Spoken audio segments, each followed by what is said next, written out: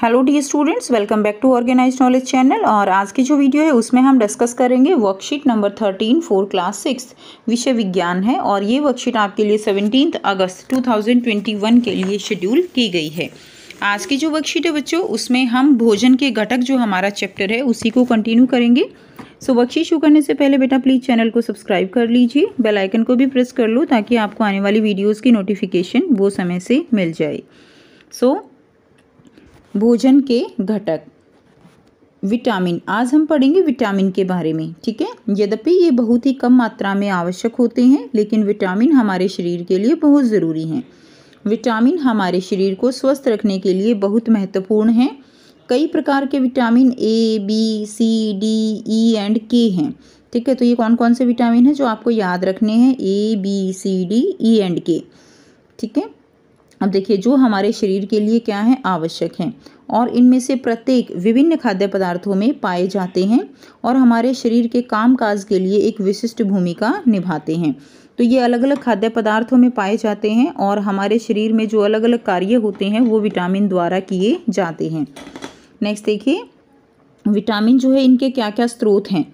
अब vitamin A है। तो विटामिन ए का स्रोत क्या है? कहाँ कहाँ मिलेगा ये हमें? ये हमें गाजर में मिलेगा, आम मिलेगा, जिगर जो है उसमें मिलता है कॉड लीवर, ऑयल, ठीक है? उसमें भी ये विटामिन ए हमें मिलता है। उसके बाद देखिए, ये क्यों हमारे शरीर के लिए आवश्यक है? तो ये हमें हमारी जो आँख हैं, ठीक है, बाल और त्वचा के लिए बहुत ज़्यादा ज़रूरी है। विटामिन ए की कमी से बच्चों, रतौंधी रोग हो जाता है, ठीक है? आँखों का रोग है, जिसको हम क्या कहते हैं? रतौंधी रोग। तो ये हमारी आँखें, बालों और त्वचा के लिए बहुत ज़रूरी है। नेक्स्ट देखिए vitamin B vitamin B yeast मांस, मछली, दूध, हरी सब्ज़ियाँ। ये जो है इसके स्रोत रहेंगे तो मांस, मछली, दूध, हरी सब्जियों से हमें विटामिन बी मिलता है। और ये इसका कार्य क्या है? ये हमारी जो मांसपेशियाँ हैं और हमारी जो तंत्रिकाएँ हैं, यानी हमारे शरीर में हमारा जो ब्रेन होता है ना, उसमें छोटी छोटी जो है नशे जो है, वो एक तरह से आप कह सकते हो, उनको हम तंत्रिकाएँ कहते हैं, जो पूरे शरीर से जुड़ी हुई होती हैं। तो उनके लिए ये बहुत आवश्यक है और वृद्धि के लिए भी विटामिन बी आवश्यक है। नेक्स्ट देखिए, विटामिन सी। विटामिन सी, जो खट्टी चीज़ें हैं, उनमें विटामिन सी होता है, जैसे नींबू, नारंगी, आंवला, अमरूद में भी विटामिन सी होता है, टमाटर। और विटामिन सी हमारे शरीर के लिए, हमारी जो इम्यूनिटी है, उसको बढ़ाने के लिए बहुत ज़रूरी है। आपने न्यूज़ में भी सुना होगा, जैसे अभी कोविड चल रहा था तो बार बार खट्टी चीज़ें खाने के लिए बोला गया। क्यों? क्योंकि विटामिन सी जो है, वो हमारी जो प्रतिरक्षा तंत्र है, उसको मज़बूत बनाता है, हमारी इम्यूनिटी को बढ़ाता है, ठीक है? सो इसके कार्य क्या हो जाएँगे? यह हमारे दांत और मसूड़े जो है, उनको स्वस्थ रखता है और रोगों के प्रति इसकी जो है एक प्रतिरोधक क्षमता होती है। तो क्या होती है इसकी? प्रतिरोधक क्षमता, यानी रोगों से लड़ने की इसकी क्षमता होती है। नेक्स्ट देखिए नंबर डी दूध, मक्खन कॉड लिवर ऑयल और धूप के संपर्क में। इन, यहाँ से हमें मिलता है विटामिन डी ठीक है? सबसे मेन विटामिन डी का सोर्स होता है धूप में।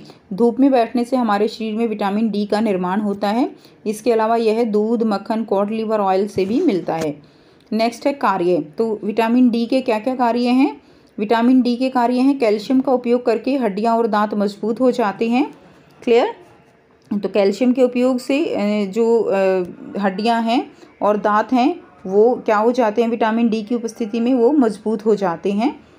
नेक्स्ट देखिए, अब हम करेंगे खनिज लवण तो खनिज लवण हमारे शरीर में बहुत कम मात्रा में इनकी आवश्यकता होती है तो जैसे विटामिन शरीर में कम मात्रा में आवश्यक होते हैं, इसी तरह खनिज लवण भी हमारे शरीर में इनकी भी कम मात्रा में आवश्यकता होती है, और ये शरीर के विभिन्न भागों के निर्माण और जीवन की विभिन्न प्रक्रियाओं को पूरा करने में मदद करते हैं।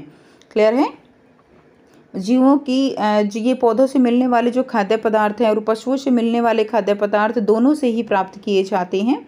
पौधे मिट्टी से खनिज अवशोषित करते हैं, पशु पौधों से भोजन प्राप्त करते हैं, इसलिए पशु से मिलने वाले खाद्य पदार्थों में भी खनिज होते हैं। यानी ये हमें पौधों और जंतुओं दोनों से मिलेंगे। अब जंतु जो है वो पौधों को खाते हैं तो इसीलिए पौधों से भी हमें क्या मिलेगा? जंतुओं से भी हमें खनिज लवण मिलते हैं। अब जो बहुत ही इम्पोर्टेंट खनिज हैं वो कौन से हैं? तो सबसे पहला है कैल्शियम। कैल्शियम जो है दूध और हरी सब्जियों में ज़्यादा मिलता है। और कैल्शियम का कार्य क्या है? ये हड्डियों और दांतों के निर्माण के लिए बहुत ज़रूरी है। ठीक है? और ये रक्त का थक्का जमाने में मदद करना, यानी हमें चोट लग जाती है तो जो रक्त है वो हमारा, वो रुक जाता है, उसका जो है एक तरह से थक्का जम जाता है। क्लियर उसके बाद देखिए नेक्स्ट है फास्फोरस तो फास्फोरस जो है फास्फोरस के स्रोत क्या होंगे? मांस, मछली, अंडे, ये फास्फोरस के स्रोत हैं। और इसके कार्य क्या होंगे? हड्डियों एवं दांतों के निर्माण के लिए ये बहुत ज़्यादा ज़रूरी है फास्फोरस। क्लियर? उसके बाद देखिए, आयरन। आयरन के स्रोत क्या रहेंगे? लीवर, मांस और हरी सब्ज़ियाँ। और इसका कार्य क्या है? शरीर में रक्त निर्माण के लिए ज़रूरी है। तो शरीर में रक्त निर्माण के लिए आयरन का होना बहुत ज़रूरी है। नेक्स्ट देखिए, आयोडीन। तो आयोडीन के स्रोत क्या होंगे? आयोडीन के स्रोत रहेंगे समुद्री खाद्य पदार्थ। ठीक है? और आयोडीन युक्त नमक तो मछली है और जो समुद्री के, समुद्र में रहने वाले जीव हैं, उन सब में जो है आयोडीन मिलता है और ये हमारी शरीर की वृद्धि के लिए बहुत ज़रूरी है। आपने देखा भी होगा बच्चों, कई बार आयोडीन की कमी के कारण क्या होता है, हमारी जो गर्दन होती है वो फूल जाती है, जिसको हम घेंगा रोग कहते हैं। कौन सा रोग कहेंगे? घेंगा रोग। तो वो किसकी कमी के कारण? आयोडीन की कमी के कारण होता है। नेक्स्ट देखिए, अब यहाँ पे बहुत ही आसान से कुछ प्रश्न दिए गए हैं। ठीक है टोटल छः प्रश्न हैं, जिनके आंसर हम करेंगे। तो ये बेटा करते हैं इसका आंसर पहला जो प्रश्न है, हड्डियों और दांतों को मज़बूत बनाने के लिए आवश्यक विटामिन का नाम बताइए। तो हड्डियों और दांतों को मज़बूत बनाने के लिए जो विटामिन है, वो कौन सा होता है बच्चों? विटामिन डी होता है। नेक्स्ट देखिए, ये आपका खालिस्तान है। विटामिन सी हमारे डैश और डैश को स्वस्थ बनाए रखने में मदद करता है। तो विटामिन सी जो है वो हमारे दांत और मसूड़े को स्वस्थ बनाए रखने में मदद करता है। नेक्स्ट देखिए, प्रश्न तीन है, समुद्री भोजन में कौन सा खनिज पाया जाता है? तो समुद्री भोजन जो है उसमें आयोडीन पाया जाता है। नेक्स्ट देखिए नंबर चार, गाजर खाने से आपकी आँखों की रोशनी बढ़ाने में कैसे मदद मिल सकती है? तो गाजर में बच्चों विटामिन ए पाया जाता है, जो कि आँखों की रोशनी बढ़ाने में मदद करता है।